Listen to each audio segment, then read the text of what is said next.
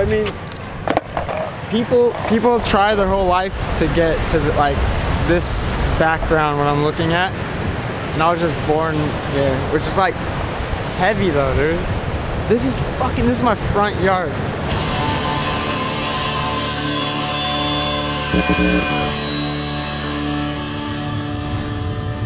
Okay, and then um, yeah. I'm insane because I'll, I I think like for real like I think like I'm, killing it. I'm doing so good. Like everything's going good. Like fucking like can't tell me nothing pretty much and like everything's good and then I'll go to sleep, wake up the next day and have the gnarliest anxiety and think that I'm fucked and I'll just look around and be like, what am I doing? Like, like I'll wake up in that room that's all painted, you know? And I'm like, what the fuck is this?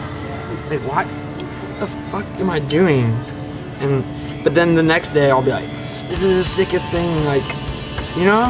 But I'm so extreme, like highs and lows, it's insane.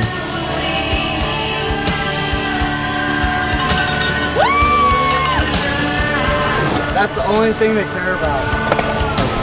Gone, board to that handrail.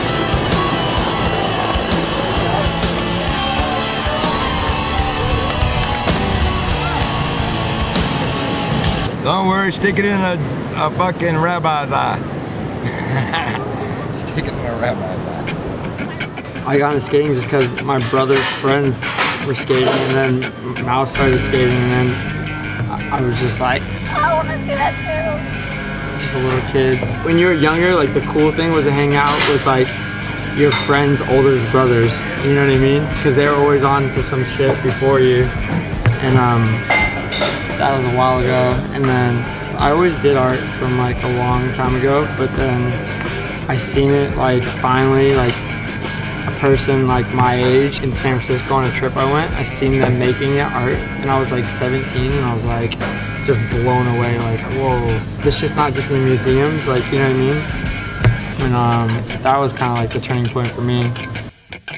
I'm just super intrigued with all this stuff. Like, it consumes me almost.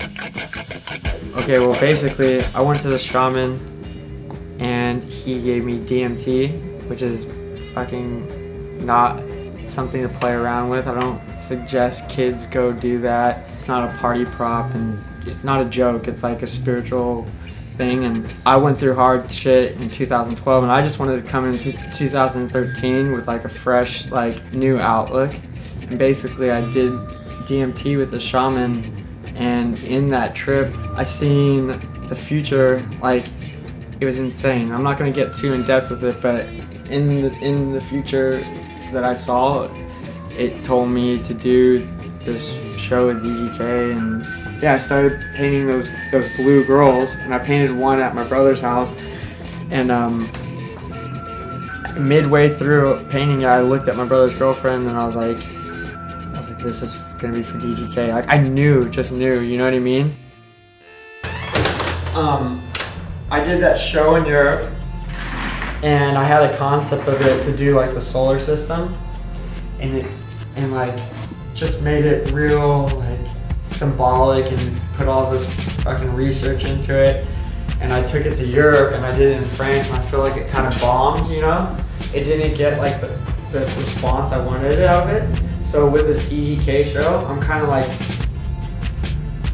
redoing it in this version. So like it still has the same element, the whole solar system, and I'm hoping this one basically hits harder than the other one did, you know? I've met people for like not even that long, for like a week, and they're like, I got a fuck BB tat, and I'm like, damn, it's heavy, dude.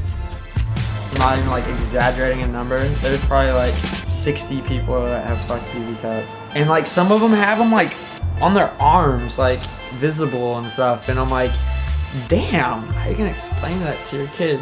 But the kid will probably know me, so they probably get it anyways. I don't know, it's not. I seen a girl, this girl has a fuck beauty tat, and I was like, that's crazy. I don't even get it. I don't know. Fucking, maybe, I guess they're paying like hom- homage to me or something, but it's probably like when you're a little kid in school and you like pull the girl's hair because you like her. I think it's like that. Turn up. BB for Bad chick, DGK, give me some of baby. that. Let it happen, let it Moving like a rain. runaway train. Made back coupe and I live in plain Jane. Bought another Billy and I did the same thing. Pimped out, top down, riding round town with a Hollywood bitch, about to smoke a whole pound. Getting high than a motherfucking space shuttle. And I like my sprite dirty like a mud puddle.